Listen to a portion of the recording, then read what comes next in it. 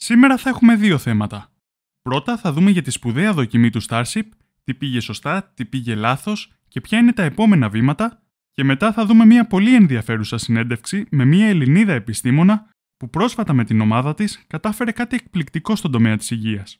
Καλώ ορίσατε στο δελτίο ειδήσεων με τα σημαντικότερα νέα της ανθρωπότητας. Όπως πάντα, στην περιγραφή του βίντεο θα βρείτε περισσότερες πληροφορίες για κάθε θέμα που αναφέρω.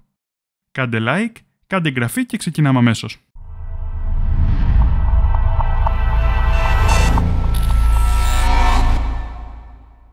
Το Starship, ο μεγαλύτερος και ισχυρότερος πύραυλος που έχει φτιάξει ποτέ ο άνθρωπος, πραγματοποίησε τη δεύτερη δοκιμή του.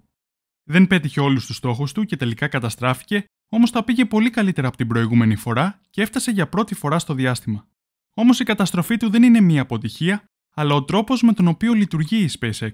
Κάνει δοκιμές με μεγάλο ρίσκο, αποτυγχάνει ξανά και ξανά μαθαίνοντας από τα λάθη της μέχρι να πετύχει το στόχο της. Με αυτόν τον τρόπο έχει καταφέρει να κυριαρχήσει στην τεχνολογία των πυράβλων και να προηγείται με διαφορά σε σχέση με τις ανταγωνιστικές εταιρείες.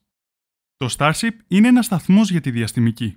Ξεκλειδώνει πολλές νέες δυνατότητες σε πάρα πολλούς τομείς, με έναν μόνο από αυτούς, τον πιο άμεσο, να είναι το πρόγραμμα Artemis, με το οποίο ο άνθρωπος θα επιστρέψει στη σελήνη. Όμως η δυσκολία του εγχειρήματος είναι μεγάλη. Σκεφτείτε ότι ολόκληρο το Starship έχει ύψος 122 μέτρα δηλαδή περίπου όσο το London Eye. Και μάλιστα ο πύραυλος είναι επαναχρησιμοποιούμενος. Όπως σας είπα προηγουμένως, αυτή ήταν η δεύτερη δοκιμή του Starship. Ή για να είμαστε πιο ακριβείς, η δεύτερη δοκιμή ολόκληρου του Starship, το οποίο αποτελείται και από τα δύο μέρη του. Το κάτω μέρος που ονομάζεται Super Heavy και το πάνω που ονομάζεται και αυτό Starship. Η πρώτη δοκιμή είχε πραγματοποιηθεί πριν από 6 μήνες περίπου τον Απρίλιο. Τότε, κάποιες από τις αποτυχίες ήταν οι μεγάλες ζημιές στην εξέδρα εκτόξευσης που προκλήθηκαν από την τεράστια ισχύ του Starship, το ότι δεν λειτουργήσαν όλες οι μηχανές του και άλλα. Από τότε έγιναν συνολικά 63 διορθώσεις. Μία από αυτές ήταν για παράδειγμα ένα σύστημα που εκτοξεύει μεγάλες ποσότητες νερού, ώστε αυτή τη φορά να προστατεύσει την εξέδρα εκτόξευσης. Οπότε πάμε να δούμε πώς πήγαν τα πράγματα αυτή τη φορά. Τι λειτουργήσε σωστά, τι πήγε λάθος και ποια είναι τα επόμενα βήματα. Σε αυτή τη δοκιμή, αφού έγινε η εκτόξευση, πολύ σημαντικό είναι ότι λειτουργούσαν σωστά και οι 33 μηχανές του Super Heavy, δηλαδή του κάτω μέρους του πυράβλου. Φτάσαμε στο στάδιο του διαχωρισμού, όπου το πάνω μέρος του πυράβλου, το Starship, απελευθερώθηκε για να συνεχίσει το ταξίδι μόνο του. Το Starship αυτή τη φορά έφτασε στο διάστημα μέχρι και το ύψος των 150 χιλιόμετρων. Όπως φαίνεται, το πρόβλημα δημιουργήθηκε αμέσως μετά από ένα στάδιο που ονομάζεται hot staging. Το hot staging είναι μια διαδικασία που χρησιμοποιείται κατά το διαχωρισμό του Super Heavy και του Starship, στην οποία οι κινητήρες του ανώτερου σταδίου αρχίζουν να πυροδοτούνται πριν το Starship και το Super Heavy διαχωριστούν πλήρως. Δυστυχώς, αμέσως μετά το διαχωρισμό, το Super Heavy καταστράφηκε με μια εντυπωσιακή έκρηξη, ενώ το Starship συνέχισε να πετάει προς το διάστημα για μερικά λεπτά ακόμα. Και τότε κάποια στιγμή χάθηκε το σήμα. Ενεργοποιήθηκε το σύστημα αυτοκαταστροφής, το οποίο καταστρέφει το σκάφος όταν κάτι πάει στραβά ώστε να μην υπάρχουν απρόβλεπτες συνέπειες για λόγους ασφαλείας. Αν όλα πήγαιναν σύμφωνα με το σχέδιο, το Starship θα συνέχιζε το ταξίδι του προς το διάστημα, θα έκανε τον γύρο της γης και θα προσταλασσονόταν στον Ειρηνικό ωκεανό κοντά στη Χαβάη. Τα καλά νέα είναι ότι αυτή τη φορά η εξέδρα εκτόξευσης έμεινε άθικτη. Φαίνεται ότι οι αλλαγές και τα νέα συστήματα που έβαλε σε λειτουργία η SpaceX ήταν πετυχημένα. Όπως είπε η εταιρεία στο Twitter, με μία δοκιμή όπως αυτή, η επιτυχία έρχεται από όσα μάθαμε. Και σήμερα το τεστ θα μας βοηθήσει να βελτιώσουμε την αξιοπιστία του Starship, καθώς η SpaceX επιδιώκει να κάνει τη ζωή διαπλανητική. Τώρα οι μηχανικοί της SpaceX θα συλλέξουν τα δεδομένα ώστε να βελτιώσουν τη διαδικασία του hot staging ή ίσως και να βελτιώσουν ακόμα και το hardware για την επόμενη πτήση. Τι ακολουθεί στη συνέχεια, η επόμενη δοκιμή, η οποία φαίνεται ότι θα γίνει πολύ σύντομα. Σύμφωνα με τον Elon Musk, το επόμενο Starship θα είναι έτοιμο πριν από τα Χριστούγεννα, αν και αυτό δεν σημαίνει ότι θα έχουν λάβει άδεια για την εκτόξευση έως τότε. Στο δεύτερο θέμα της ημέρας, όπως σας είπα στην αρχή του βίντεο, θα δούμε μια πολύ ενδιαφέρουσα συνέντευξη με μια Ελληνίδα επιστήμονα που πρόσφατα με την ομάδα της κατάφερε κάτι εκπληκτικό στον τομέα της υγείας. Σήμερα έχω τη μεγάλη χαρά και τιμή να έχω κοντά μου μια σπουδαία Ελληνίδα επιστήμονα από το Πανεπιστήμιο του Μπαθ, που μαζί με την ομάδα της έχει κάνει μια πολύ σπουδαία εφεύρεση. Μια συσκευή η οποία μπορεί να αναγνωρίζει ιούς όπως ο COVID σε μόλις 3 λεπτά με πολύ μεγάλη ακρίβεια. Μιλάω για τη Δόκτωρ Δέσποινα Μόσχου, Κυρία Μόσχου, καλώς ήρθατε στο κανάλι. Ευχαριστώ πάρα πολύ για την πρόσκληση. Πάντα είναι δική μου τιμή. Πάντα όταν α, με καλούν να μιλήσω για τη δουλειά μου είναι πάντα πάρα πολύ ευχάριστο. Θέλετε να μας πείτε δύο λόγια για εσάς; Λίγα λόγια για μένα. Ε, Δέσποινα Μόσχου, όπως πολύ ωραία με, ε, με παρουσίασες. Γεννημένη στην Αθήνα, στη Λυκόβηση συγκεκριμένα. Σπούδασα στο Εθνικό Μετσόβιο Πολυτεχνείο, ε, τμήμα ηλεκτρολόγων μηχανικών και μηχανικών υπολογιστών. Εκεί ξεκίνησα να πρώτο κάνω βιοιατρική. Μετά έκανα το διδακτορικό μου στον ε, Κεφέ Δημόκριτος, στο τότε Ινστιτούτο Μικροελεκτρονικής, τώρα Ινστιτούτο Νανοεπιστήμης νομίζω, αν, αν το θυμάμαι καλά, γιατί είχα φύγει όταν άλλαξε. Έκανα και με τη διδακτορική έρευνα στο ΕΚΕΦΕ Δημόκριτος στο ίδιο Ινστιτούτο, όπου και εκεί πρώτο ξεκίνησα και αυτή τη δουλειά για το Rapid PCR πριν από 13 χρόνια.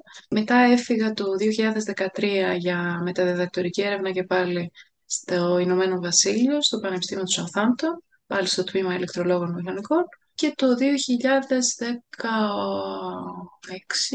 το 2016, ναι. Πήρα θέση καθηγήτριας, ε, επίκουρης καθηγήτριας στο Πανεπιστήμιο του Μπάθ, στο Τμήμα Ηλεκτρολόγων Μηχανικών, όπου και ξεκίνησα τη, την ομάδα μου και βρίσκομαι ακόμα ως αναπληρώτρια καθηγήτρια πλέον. Πολύ ωραία. Μεγάλη μου χαρά και τιμή που είστε μαζί μας.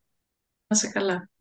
Θέλετε να μας πείτε για αυτή τη συσκευή, ε, πώς λειτουργεί και τι κάνει; Λοιπόν, βασίζεται σε αυτό που λέμε, μια τεχνολογία που λέγεται Lab on a Chip, Οπότε είναι ουσιαστικά η σμίκρινση των ε, κλασικών βιοδιαγνωστικών εργαστηρίων που αυτή τη στιγμή τους στέλνετε για παράδειγμα τη, την πατονέτα με το δείγμα, κάτι κάνουν και σας στέλνουν το αποτέλεσμα πίσω.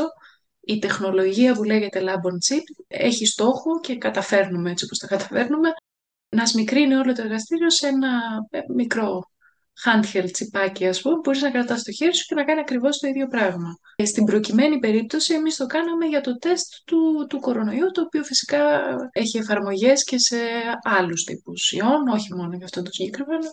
Τώρα, τι κάνει αυτό το συγκεκριμένο τσιπάκι; Αυτό έχει ένα πρώτο κομμάτι, το οποίο κάνει αυτό που λέμε thermal lysis, δηλαδή ουσιαστικά ζεσταίνει το, το υγρό το οποίο περιέχει μέσα τον, τον κάθε ιό, τον, τον συγκεκριμένο ας πούμε ιό, ε, με αποτέλεσμα να απελευθερώνει το γενετικό του υλικό. Οπότε τον σπάει ουσιαστικά και απελευθερώνει το RNA του. Το RNA είναι η ταυτότητα, η γενετική ταυτότητα του κάθε ιού που μπορούμε να τον αναγνωρίσουμε, είναι σαν το αποτύπωμα του. Ε, και αυτό στο οποίο το, γίνεται το κλασικό τεστ της PCR που ξέρετε τώρα. Το τεστ της PCR κάνει ακριβώς αυτό. Παίρνει το γενετικό υλικό, το πολλαπλασιάζει και άρα το κάνει ανοιχνεύσιμο ώστε να μπορούμε να πούμε από αυτό το αποτύπωμα ότι είναι αυτός ο ιός. Το πρώτο βήμα λοιπόν είναι να ανοίξουμε τον ιό και να απελευθερώσουμε το γενετικό του υλικό. Το κάνουμε αυτό στο τσιπάκι. Αυτό μας παίρνει γύρω στο 1-1,5 λεπτό. Και το αμέσως επόμενο βήμα που στο τσιπάκι μας γίνεται στη συνέχεια ακριβώς από την ε, θερμική απελευθέρωση είναι ο πολλαπλασιασμός του RNA, το αντίστοιχο του τεστ της PCR, με μια άλλη λίγο πιο προχωρημένη τεχνική που λέγεται LAMP, που πολλαπλασιάζει το RNA και αυτό έχουμε καταφέρει να το κάνουμε γύρω στο 1 με 1,5 λεπτό και στο τέλος το πολλαπλασιασμένο RNA φθορίζει. Οπότε στο τέλος εμείς του chip, μετά από αυτό το 1,5 λεπτό, έχουμε έναν αισθητήρα φθορισμού και μπορούμε να, να ανοιχνεύσουμε αν όντως υπάρχει δηλαδή το γενετικό υλικό του ιού, ε, φθορίζει και μπορούμε να το ανοιχνεύσουμε με έναν αισθητήρα. Αν δεν υπάρχει, δεν υπάρχει καθόλου φθορισμός, οπότε δεν μετράμε καθόλου σήμερα. Οπότε, από τα τεστ που ξέρουμε δηλαδή, που κρατάνε 15-20 λεπτά και παραπάνω, εσείς είναι ρεκόρ αυτό που κάνετε, αν δεν κάνω λάθος, το να είναι στα 3 λεπτά; Είναι ρεκόρ και εμείς δεν το περιμέναμε. Περιμέναμε ότι ναι. θα είναι τόσο γρήγορο, προφανώς, όταν αρχίσαμε να κάνουμε την έρευνα στη διάρκεια του κορονοϊού. Πόσο γρήγορο είναι η αλήθεια, δεν, το περι... δεν ξέραμε πόσο γρήγορο μπορεί να είναι, γι' αυτό κάνουμε έρευνα. Ε, περιμέναμε να είναι έτσι κάτω από 10 λεπτά, αλλά ήταν πάρα πολύ γρήγορο. Και για να είμαι ειλικρινής, δεν είναι μόνο το ότι είναι τόσο γρήγορο ε, σε σχέση με τα γρήγορα τεστ, τα rapid test που κάνετε τώρα, ας πούμε, που, που έχετε συνηθίσει, έχετε εννοώ, η, η κοινωνία γενικώς έχει συνηθίσει να κάνει, είναι άλλης ακρίβειας. Δηλαδή, εμείς δεν κάνουμε απλά τρία λεπτά για rapid test, κάνουμε τρία λεπτά για PCR. Ε, τα rapid test δεν έχουν την ίδια ακρίβεια για την, με την PCR, γι' αυτό αν θυμάστε όποτε κάποιος γινόταν θετικός στον κορονοϊό με rapid, μετά τον στέλνανε να κάνει και PCR.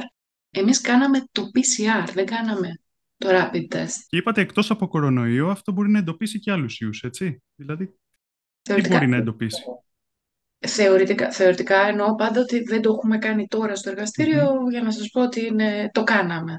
αλλά όλοι οι περισσότεροι τουλάχιστον έχουν μία παρόμοια λειτουργία. Δηλαδή έχουν ένα καψίδιο κάποιας μορφής ε, σωματίδιο με διαφορετικές πρωτεΐνες, διαφορετικά λιπίδια, διαφορετική σύνθεση, αλλά βασικά μέσα έχουν πάλι κάποιο γενετικό Και θεωρητικά όποιος ιός μπορεί με, με θερμική λύση ας πούμε, να ανοίξει και να απελευθερώσει το γενετικό του υλικό, θεωρητικά μπορούμε να τον ανοιχνεύσουμε επίσης με αντίστοιχο τρόπο. Ε, σε ένα άρθρο που διάβαζα κάτι ανέφερε και για καρκίνο. Υπάρχει περίπτωση να αναγνωρίζει και αυτό; Ε, ναι, βασικά εμένα αυτό ήταν, όπως το λέω το, στους Άγγλους, το, το βασικό motivation για να κάνω αυτή την έρευνα. Γιατί αυτή η έρευνα δεν ξεκίνησε τώρα. Ε, δεν έγινε μια μέρα, δηλαδή ξαφνικά κάναμε έτσι μια, μια εφεύρεση και ξεκίνησε. Mm-hmm. Πρώτο ξεκίνησε 13 χρόνια πριν από την Ελλάδα που έκανα, ήμουν ακόμα ε, assistant, πώς το λένε, postdoctoral research assistant στην Ελλάδα. Προχώρησαν τα πράγματα. Την έρευνα τότε δεν την ξεκινήσαμε για τον κορονοϊό, γιατί δεν υπήρχε πριν 13 χρόνια. Την ξεκινήσαμε γιατί είναι ένα τεστ γενετικής ανάλυσης. Εμένα το βασικό μου, βασικός μου λόγος που ενδιαφέρομαι για αυτή την τεχνική και ενδιαφέρομαι ακόμα για αυτή την τεχνική είναι η έγκαιρη ανείχνευση καρκίνου. Ε, μέσω αυτού που λέμε υγρής βιοψίας, τα liquid biopsies. Δεν ξέρω αν έχετε ξανασχοληθεί καθόλου, αλλά αν δεν έχετε ξανασχοληθεί είναι πολύ πολύ πολύ ενδιαφέρουσα. Είναι πάρα πολύ σημαντικό πολύ, πολύ, πολύ ενδιαφέρουσα και πολύ σημαντική ναι. έρευνα και, και κατά τη γνώμη μου. Η υγρή βιοψία τι σημαίνει ουσιαστικά; Ότι όταν αρχίζει να πρωτοεμφανίζεται κάποιας μορφής καρκίνου κάπου, τι είναι ο καρκίνος ουσιαστικά; Είναι ουσιαστικά ένα, δύο, τρία κύτταρα, τα οποία αρχίζουν να πολλαπλασιάζονται ανεξέλεγκτα λόγω κάποιας μετάλλαξης σε κάποιο γονίδιο. Ε, αυτά τα πρώτα κύτταρα, αυτή τη στιγμή έτσι όπως είναι τα πράγματα στο, στο κλασικό clinical practice, δεν μπορούμε να τα ανοιχνεύσουμε γιατί δεν μπορούμε να τα δούμε σε έναν ολόκληρο Ένα, δύο, τρία, δέκα κύτταρα. Δεν μπορούμε απλά να τα δούμε. Αυτά υπάρχουν όμως. Αν μπορούσαμε να τα βρούμε όταν είναι τόσο λίγα, προφανώς θα μπορούσαμε να έχουμε πολύ καλύτερη αντιμετώπιση από όταν δημιουργείται ένας όγκος. Έτσι. Και δε, είναι πολύ αρχή, δεν έχουν υπάρξει ακόμα μεταστάσεις, είναι γενικά πάρα πάρα πολύ αρχή.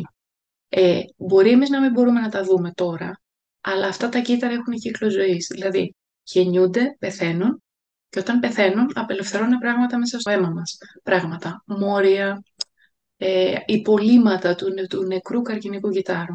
Αυτά προφανώς είναι πάρα πολύ λίγα, πολύ χαμηλές συγκεντρώσεις.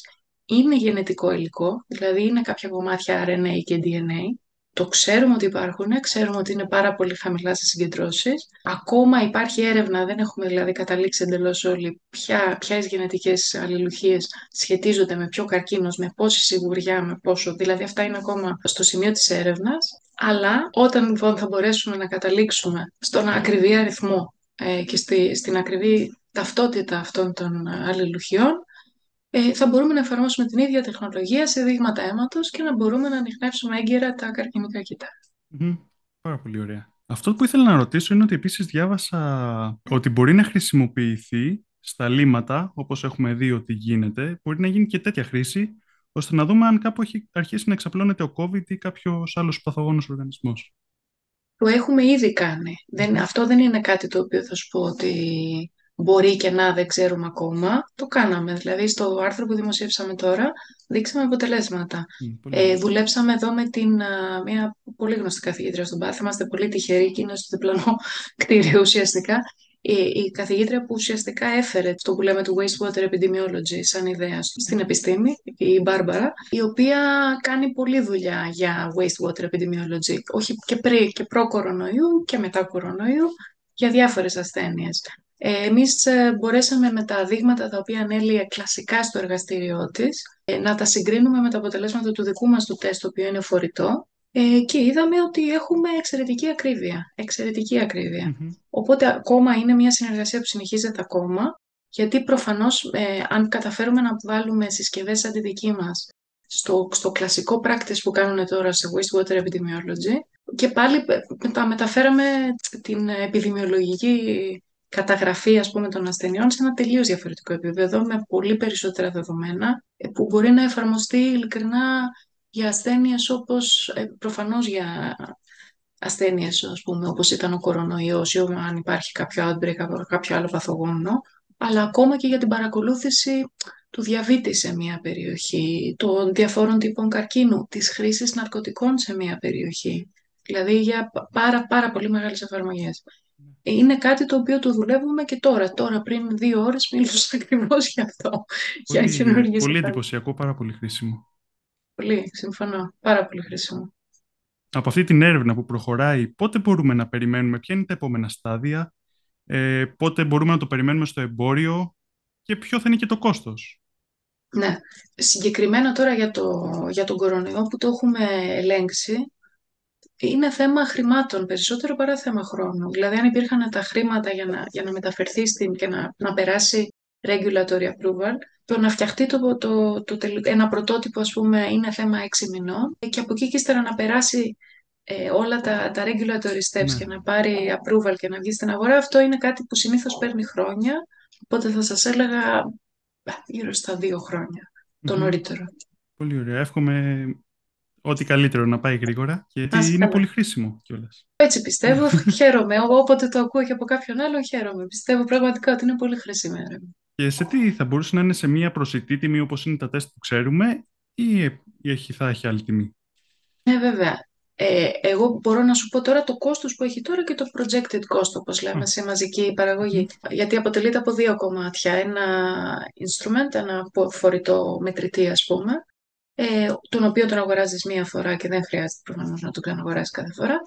Ε, και ένα ε, consumable, το οποίο κανονικά πρέπει να είναι ένα για κάθε τεστ, για, για λόγους υγιεινής, όχι για άλλους, ε, για λόγους ασφάλειας και υγιεινής. Μμμ. Ε, το instrument υπολογίζουμε αυτή τη στιγμή ένα κόστος γύρω στις 250 λίρες το καθένα, το οποίο βέβαια δεν είναι ενδεικτικό γιατί μιλάμε για πολύ μικρή παραγωγή. Όταν αρχίσεις να παράγεις μεγάλα νούμερα, αυτό το νούμερο πιστεύουμε ότι θα πέσει γύρω στα 20, στις 25 λίρες για το κάθε δείγμα σε τελική τιμή. Ε, και για το κάθε ένα από τα αναλώσιμα, αυτή τη στιγμή πληρώνουμε γύρω στις 2,5 λίρες το καθένα και πάλι πιστεύουμε ότι όταν θα πάει σε μαζική παραγωγή και δεν θα μιλάμε για 100 τσιπάκια, αλλά για ένα εκατομμύριο, ας πούμε, ε, πιστεύουμε ότι θα πέσει κάτω από τη μισή λίρα το τσιπάκι. Μμμ. Πολύ ωραία. Χάρηκα πάρα πολύ που τα είπαμε. Εγώ, Χάρηκα πάρα πολύ για την Κωνσταντίνε, γνωριμία. Επίσης, επίσης. Ευχαριστώ πάρα πολύ. Να είστε καλά.